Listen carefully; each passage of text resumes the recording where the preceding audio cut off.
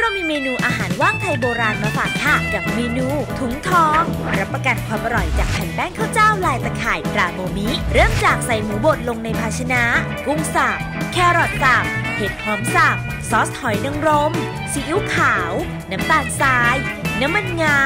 รากผักชี กระเทียม พริกไทย และแป้งข้าวโพดนวดผสมให้เข้ากันเตรียมไว้ค่ะวางแผ่นแป้งข้าวเจ้าลายตะข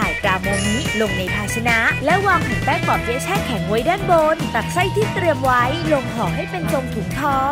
จัดจีบให้สวยงาม มัดด้วยต้นหอมลวกให้แน่นนำเข้าแช่เย็นจนทรงตัวดีนำถุงทองลงทอดในน้ำมันที่อุ่นจนร้อน ทอดจนสุกเหลืองกรอบเพียงแค่นี้ก็พร้อมรับประทานเมนูถุงทองคู่กับน้ำจิ้มบ๊วยเจียอร่อยไม่เหมือนใครเพราะมีแผ่นแป้งข้าวเจ้าลายตะข่ายตราโมมิ